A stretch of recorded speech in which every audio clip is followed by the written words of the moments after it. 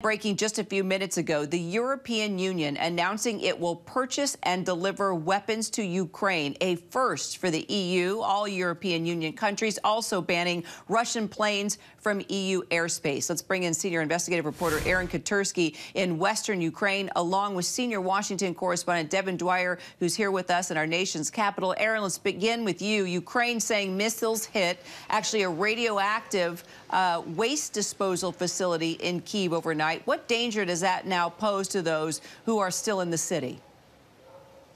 Well, thankfully, there was no apparent damage or any evidence of a radioactive leak. This is the kind of facility that helps with disposal of radioactive material from, from hospitals and the like. So it's low-level stuff, but it's an example Kyra, of the kind of collateral damage that can happen. And it's not the only bit of civilian infrastructure that's been hit so far in these early days of the fighting. As, as this fighting goes on, on multiple fronts, mainly in the capital, Kiev. That's the centerpiece of the Russian invasion. But there's also been heavy fighting in Kharkiv, uh, out into the east. In both places, though, the Ukrainian military says the defense is holding. And, and that's thanks in large part not only to the Ukrainian military, which President Zelensky has been trying to constantly rally, but also to a group of citizen soldiers who've been called to the fight. And, and I wanted to show you, Kyra, if I could, the, the officials here in Ukraine have been posting instructions on how to make Molotov cocktails, and, and citizens are taking them up on the offer.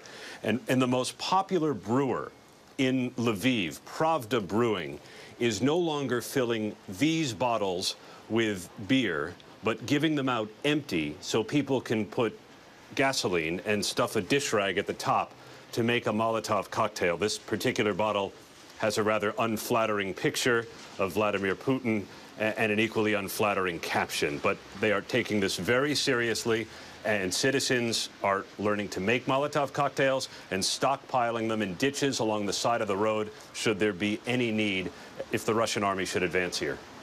So, Aaron, what does that tell you about just how Ukrainians are responding and preparing I mean, we talk about the refugee crisis and so many people leaving. At the same time, clearly, there are Ukrainians wanting to stay and, and protect uh, their homeland.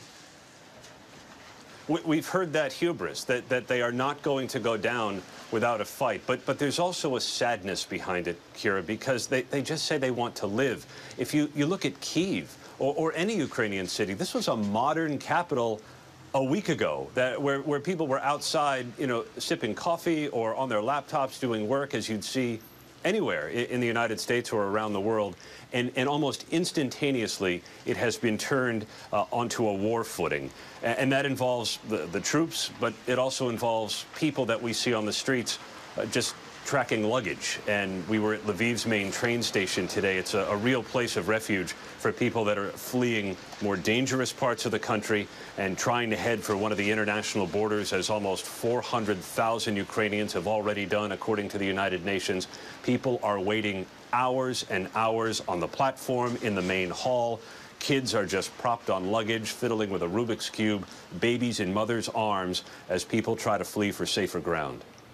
And at the same time, you know, what to make of, of Putin's uh, latest uh, comment of Devin on, on, on high alert, uh, responding with these threats of, of using nuclear weapons. How is the White House responding to this?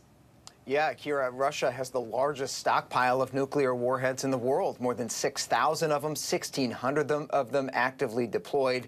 Uh, so certainly a concerning uh, threat by President Putin. The White House at this hour doesn't seem particularly alarmed. We heard from White House Press Secretary Jen Psaki. She said this is part of a pattern from Vladimir Putin manufacturing threats uh, to justify his aggression uh, in Ukraine and elsewhere.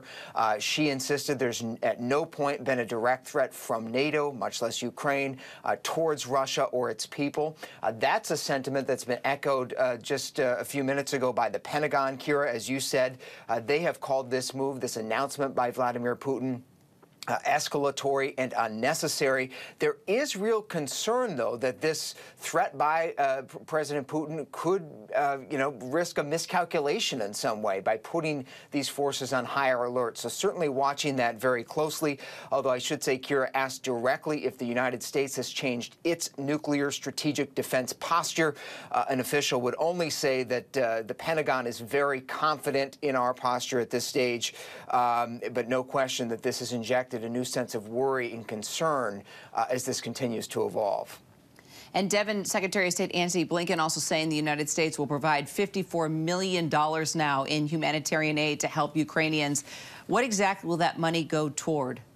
Yeah, the United States is the biggest donor of humanitarian assistance to Ukraine. Um, hundreds of millions of dollars already given, $54 million announced overnight. This is to address that humanitarian crisis you talked about earlier. 368,000 so far, according to the UN, uh, fleeing for the for the borders. Uh, Samantha Power, the USAID administrator, tweeted a short time ago uh, a picture of some of that aid arriving. 23,000 high thermal blankets. It's cold over there. Aaron can tell you that. It's damp, it's chilly, people waiting in line for hours outside on both sides of the border. And, and also this, take a look, 640 satellite phones to help maintain communications on the ground. That has been seen uh, as critical to the Ukrainians. A lot of their officials has, have asked for this as the Ukrainian military jams communications, uh, launches those cyber attacks on the internet. Having sat phones on the ground uh, could be a critical help to them as they communicate uh, with the West uh, and with their allies, Kyra. All right, Aaron Katersky and Devin Dwyer, gentlemen, thank you so much. Hi, everyone. George Stephanopoulos here. Thanks for checking out the ABC News YouTube channel. If you'd like to get more videos, show highlights, and watch live event coverage, click on the right over here to subscribe to our channel. And don't forget to download the ABC News app for breaking news alerts. Thanks for watching.